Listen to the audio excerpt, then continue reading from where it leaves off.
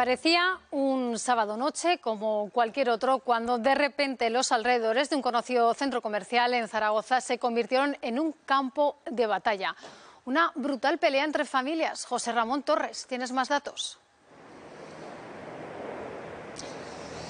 Sí, todo ocurrió a las 10 en punto de este pasado sábado, justo en esta zona en la que nos encontramos, una zona adyacente a un conocido centro comercial de Zaragoza capital, por causas que aún se desconocen, las está investigando la Policía Nacional. En torno a una veintena de personas se enzarzaron en esa pelea, en esa riña tumultuaria, como así lo denomina la Policía Nacional, que nos ha contado que unas 20 personas, como decimos, estaban implicadas en esta pelea pertenecientes a dos clanes familiares uno de ellos todos de nacionalidad colombiana, el otro todos de nacionalidad rumana. También sabemos, también nos ha contado la Policía Nacional que en esa pelea estaban implicadas esas 20 personas, que algunas de ellas portaban incluso armas blancas, piedras y martillos. Rápidamente las eh, personas, los viandantes que circulaban por aquí, aterrados ante lo que estaban viendo, llamaron a la Policía Nacional. Aquí se personaron varias, eh, varias patrullas, la pelea se deshizo, pero consiguieron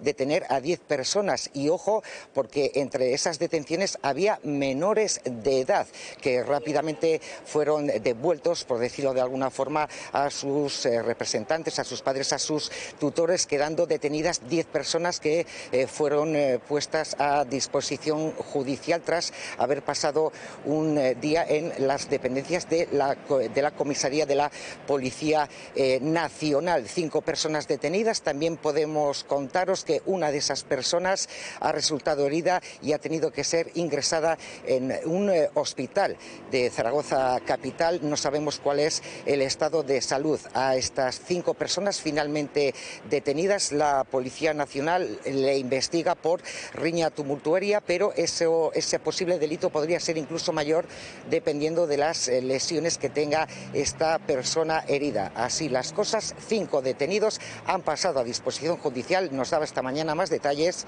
la Policía Nacional. Cuando las patrullas llegaron allí al lugar, localizaron a unas 10 personas, el resto ya habían salido corriendo, y estas 10 personas, que fueron detenidas por un presunto delito de riña tumultuaria, portaban eh, un martillo y una piedra. Cinco de ellos, como bien dices, fueron quedando en libertad a lo largo de la madrugada del, del sábado al domingo, y los otros cinco pasaron ayer por la tarde a disposición judicial, quedando todos ellos en libertad con cargos.